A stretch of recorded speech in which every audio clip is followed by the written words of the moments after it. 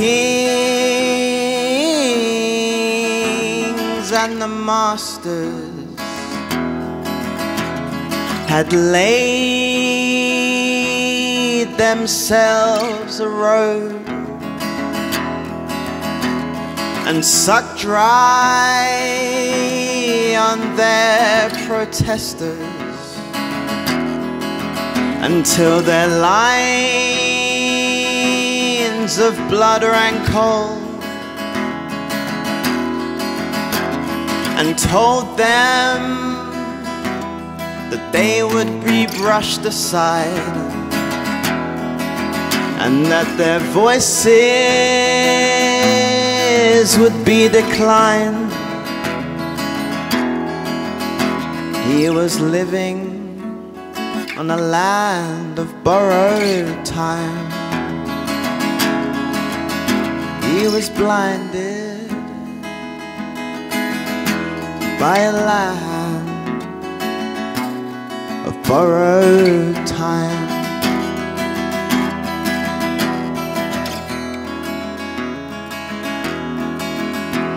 When Moses climbed the mountain to listen to the flame and came and told the Israelites of all the knowledge that he had gained and proclaimed that the fret of being hell-bound was the only path to being kind. He was standing on a land of borrowed time. He was calling to a land of borrowed time.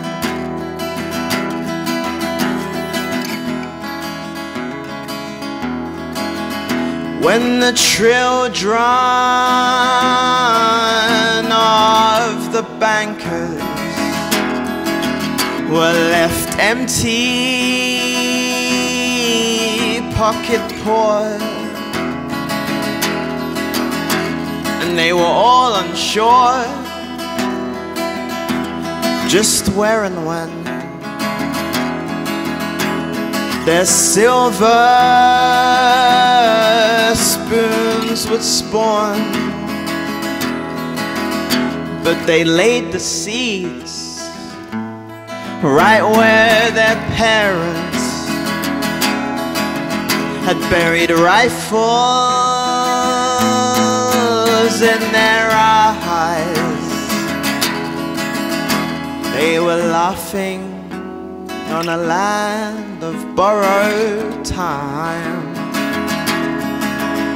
They were dancing on a land of borrowed time.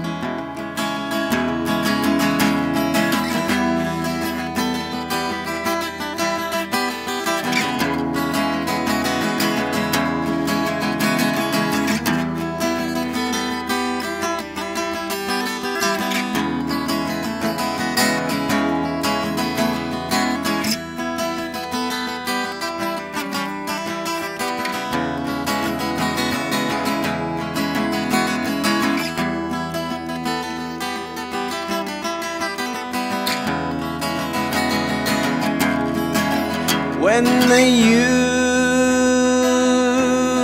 universal soldiers had numbed themselves to war and all of their decisions had been devoured by their chores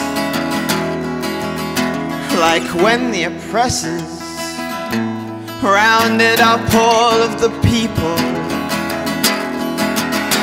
and extinguished all of their minds. They were drowning in a land of borrowed time. They were swallowed by a land of borrowed time.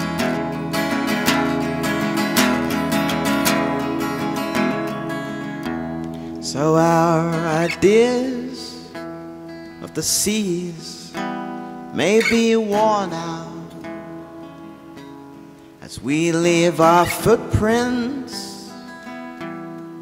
by the shores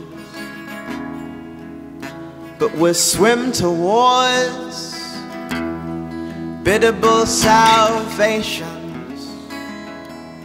until our aspirations are reassured. And when we're done philosophizing of all the places that we were maybe never born to find. We'll keep trying on our land of borrowed time until we're buried.